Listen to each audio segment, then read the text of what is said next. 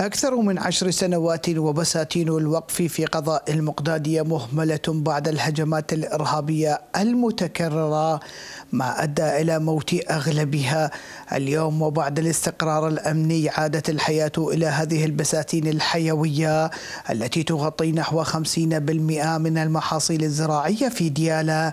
سامر أحد الفلاحين يقطف اليوم ثمار بستانه. الوضع الأمني قبل فترة كان كلش متردبي.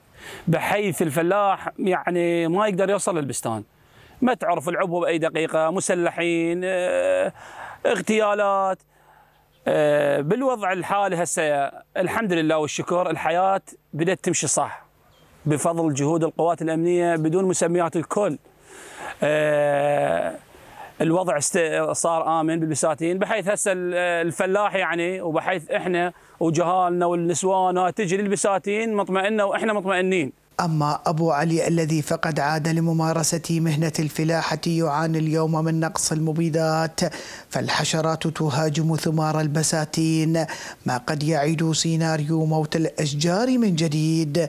هذه البساتين تشتهر بزراعة التمور والحمضيات وتعد مصدر رزق رئيسي لآلاف العائلات. حشرات هسه البرتقال انصاب يعني اكو برتقال وهذا انصاب لأن اكو دوده بق بق وذبان وهذا هو قام شو اسمه يأثر على البرتقال. وعلى التمر همين.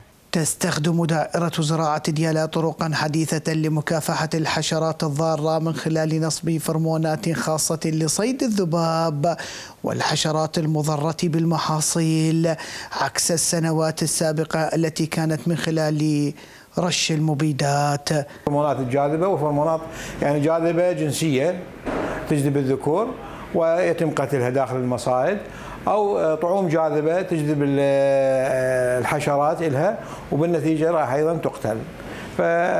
فيعني تقريبا بالنسبة للذبابات إحنا صار لنا هاي الموسم الثالث ما نستخدم مبيدات.